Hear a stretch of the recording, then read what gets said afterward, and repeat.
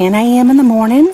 I would love to just walk through my little container garden here and share with you guys what I'm working on right now. I'll share with you some of the things that are growing and some of the things that are not. I'm over here in my leaf GreenStalk vertical garden. I am slowly transitioning this over to a fall garden and so I've cut out a lot of cucumbers and basil to make room for what I plan to um, put in there this weekend and that'll be spinach seeds. Um, I'm keeping the nasturtiums because they're so pretty right now and they love the cooler temperatures though when we get that first frost they will die so they will not survive the first frost but really really really pretty um, I do have some lettuce here and I have some dill that's doing fine. You can see here where I um, clipped out some basil. I have some fennel here that's just starting to bulb up. I have some fennel over here which is ready to be harvested. So I'll probably use that this weekend. Um, most likely with some potatoes. I'll just roast it with some potatoes. I love that anise flavor. Um, so all these empty pockets that you see, I'm going to plant spinach seeds in. So down here I did leave in one cucumber plant because it has about three cucumbers on it. I don't know, you can see, probably see one there. I get over here, you'll see another one or two. So I'm just going to leave that in there for now.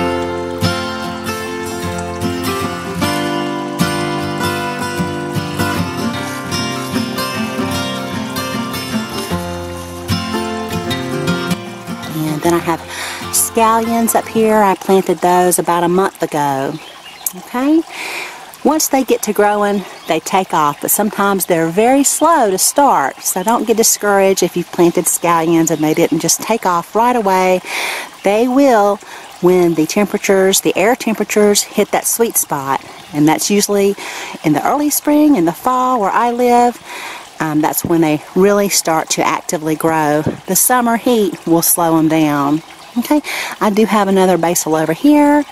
Looks like I have some more cucumbers setting right here. So this will be my project this weekend to just plant spinach and clean out um, any of the remaining pockets where I need to replant some things. Okay, so over here, I just have some nasturtiums. They're kind of trailing over the deck here, real pretty. Um, now here is a tarragon plant. No, I'm sorry. Right here is a rosemary plant. And in here has reseeded some chamomile. You'll find one thing about chamomile is once you plant it just one time, you will always have it because it reseeds everywhere and I certainly don't mind that. So I like chamomile. And then here is some dill which reseeded in the container. So instead of cleaning out that container I had I think um, basil growing in it.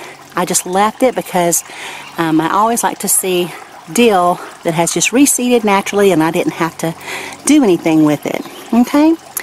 Uh, this basil's looking great. I took out my old basil I had about three pots that were um, bolting. So I cleaned those out.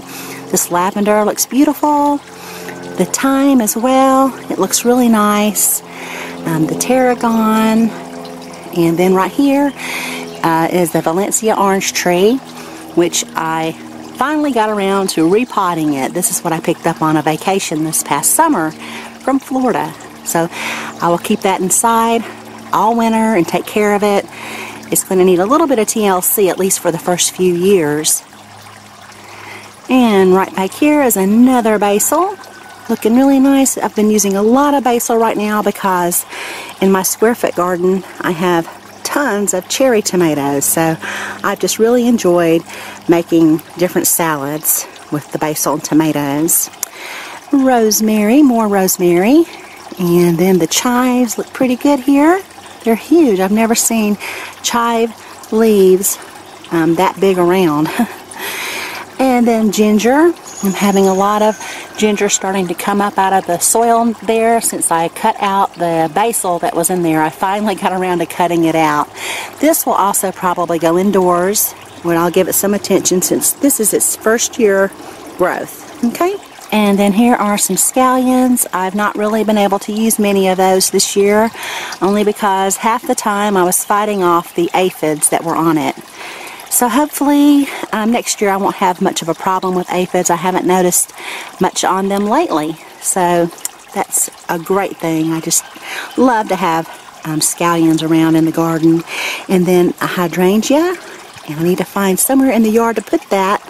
It's doing real well, but it will not survive in a container. I only did that to try to take care of it. It was my mother. She moved in with us a few months ago. And she was given this um, because my stepfather passed away. And so I want to try to find a nice place in the yard. If you guys have any tips on the sun exposure for hydrangea, I would appreciate it. I don't know much about growing them and I can't find really any good information online. So I just want to find out about the sun exposure, shade, etc., that kind of thing. Alrighty, and then mint. I did not get around to dividing my mint plants this year. I think I showed you guys earlier in the season that when you start to have a lot of growth around the outside of the container and there's not much in the center, that, that means you need to divide it. Probably you should have divided it before it got to that point. And of course I have not. So that's one mint there and there's another mint over here and they look very bad. And that's just because they're struggling.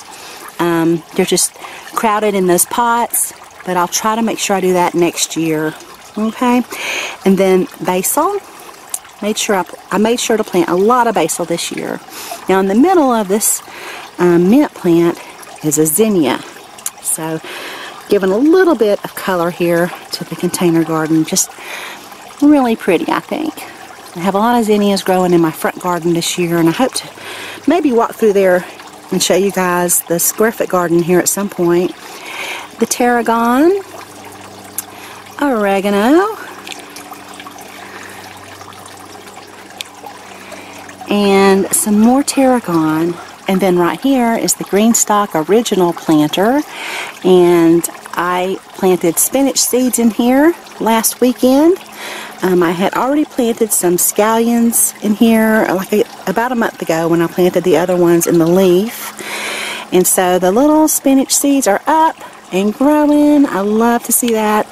I, it's really important to get my spinach seeds in the ground right about now so they have a chance to root down before the temperatures get real cold and they'll start to go dormant and then they'll of course start regrowing again in the spring of next year. But I have about two months there probably January February where they're just not very happy but they don't die.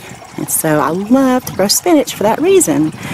I have it for a very very long time. I don't have to replant it and I just really love growing it. So um, I'll leave a link in the description area of the kind I like to grow. I've, ex I've experimented with so many different kinds, and I've found that this particular variety, Teton spinach, does the best as far as slow bolting. It doesn't get the leaf curl, the yellowing tips on it.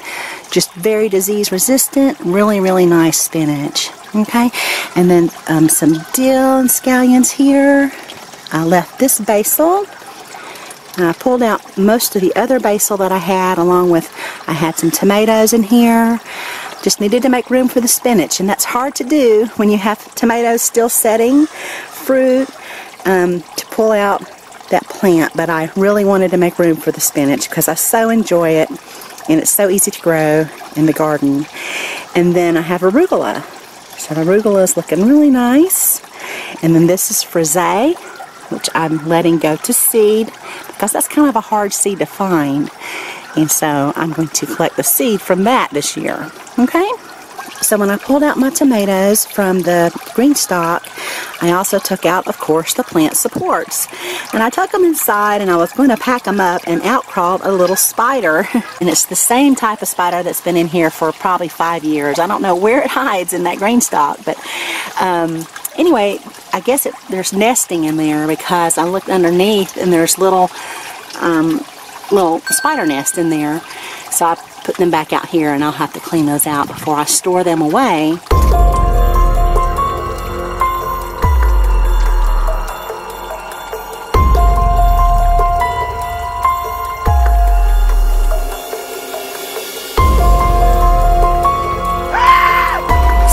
Anyway, the plant supports work great. I would highly recommend those, especially for your heavier fruits like tomatoes, cucumbers, that kind of thing. Now I'll show you one other project I'm working on. All right, and that's over here and just a small wading pool that I keep up here. These are just a couple of containers where I had some basil growing and so I cut it out. Now I'm going to dump out the soil, pull out the roots, I'll put a little more compost in here and then I'll probably actually just plant some more spinach. I can't have enough spinach so and it's really easy to put spinach up if you grow too much. Um, so I'm just going to plant it everywhere this year. So that's my little project that I'm working on as far as cleaning up the container garden. It was really really a mess um, last weekend. I worked almost the entire day out here, which was a beautiful day, and I love to do that anyway, so it really wasn't work to me. but anyway, so there you go. There's my container garden. If you guys have any questions, please leave them down below the video, and I will be more than happy to help you. Thank you so much for watching. Y'all have a beautiful day.